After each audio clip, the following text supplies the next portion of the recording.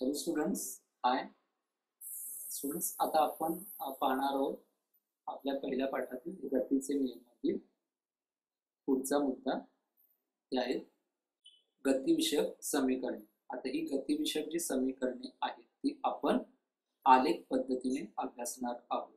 त्याबद्दल पाहूयात गतिविषयक समीकरणे कोणकोणती आहेत आणि त्यातील संज्ञा ज्या वापरल्या आहेत त्यांचा अर्थ जाणून घेऊया.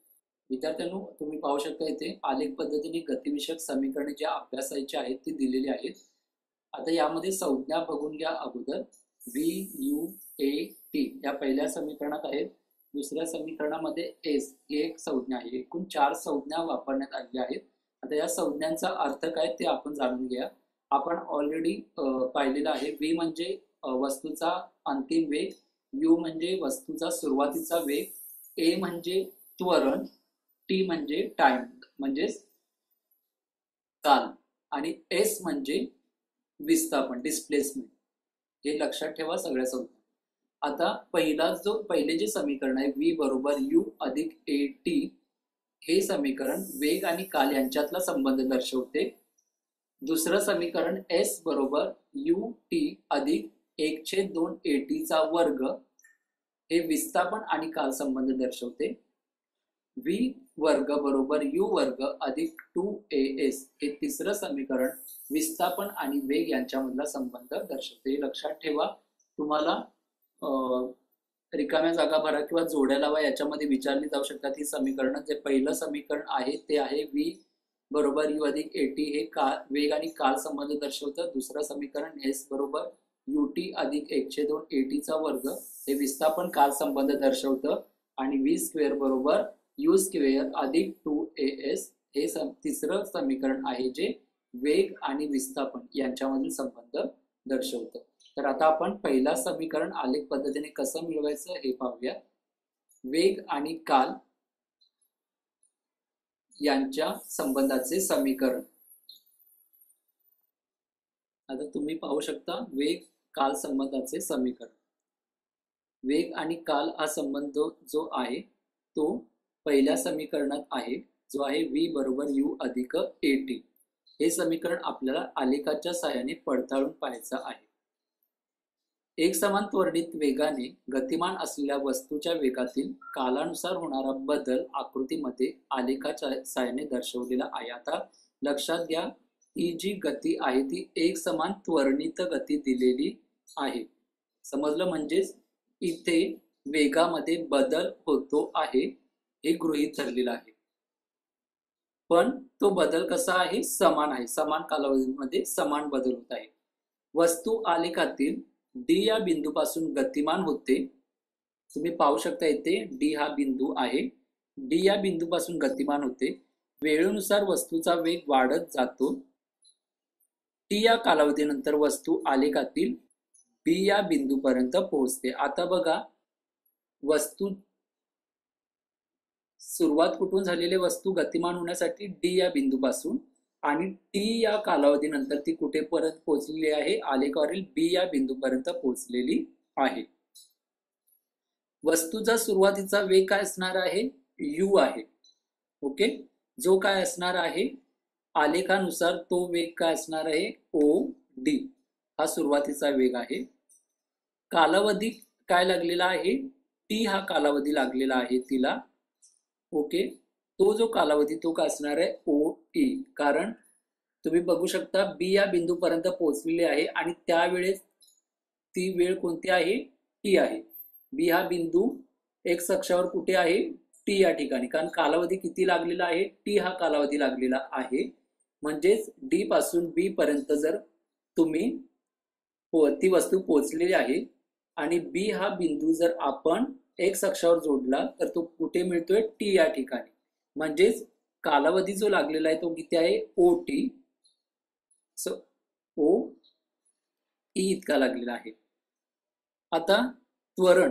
त्वरण ए बरोबर काय आहे? त्वरणाचं सूत्र काय आहे? वेगामधील बदल भागिले काल. आता वेगामधील बदल म्हणजेच कसं काढणार आपण? अंतिम वेग वजा सुरुवातीचा वेग भागिले काल. अंतिम वेग किती असणार आहे? आता इथे बघा अंतिम वेग जो असणार आहे आता वेग कुठे दाखवला आपण? वाय अक्षावर. सुरुवातीचा वेग काय? ओडी कारण ओ डी या ठिकाणी कोणता आहे? इथे वस्तूने सुरुवात केलेली आहे. आणि ती पोचले कुठे? बी या ठिकाणी. बी या ठिकाणचा वेग पाहण्यासाठी आपण बी हा बिंदू कुठे जोडणार आहोत? वाय अक्षावर. वाय अक्षावर तो कुठे पोचतो आहे? व्ही पर्यंत. तिथे सी हा बिंदू आहे समजा.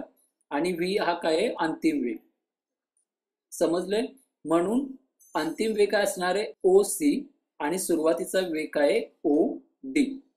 म्हणून अंतिम वेग वजा सुरुवातीचा वेग भागले काल आपण कसं घेणार आहे? ओ सी वजा ओ डी. आणि काल किती आहे? टी आता सी डी बघा.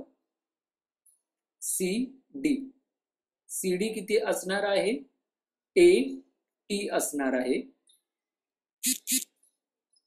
कारण ओ सी वजा ओडी बरोबर काय होते? सी डी आता तुम्ही बघू शकता ओ सी याच्यामधून सी डी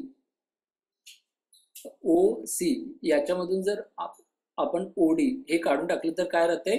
सी डी हा पार्ट राहतोय. समजतंय? ओ सी मधून आपण ओडी हा पार्ट जर काढून टाकला तर काय राहणार आहे? फक्त सी डी म्हणून ओ सी वजा ओडी बरोबर काय राहणार आहे? ए टी आता हे ए टी कसं आलेलं? कारण इथे काय आहे? ए आहे.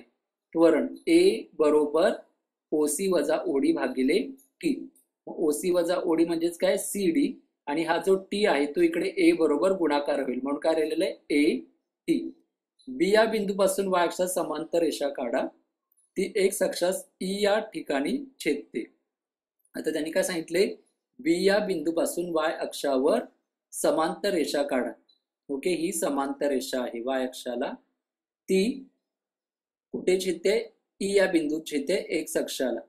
डी पासून डी या बिंदूपासून एक अक्षा समांतर रेषा काढा. ती बी ई e या रेषेस ए बिंदूस छेदते आता काय सांगितलेलं आहे? डी अक्षापासून एक अक्षाला समांतर रेषा काढली तर ती बीई e या रेषेला छेदते ए या बिंदूमध्ये. आलेखावरून बीई बरोबर बी ए अधिक ए बीई कसं मिळेल? बी ए अधिक ए ई. या दोन रेषा मिळून काय होतंय?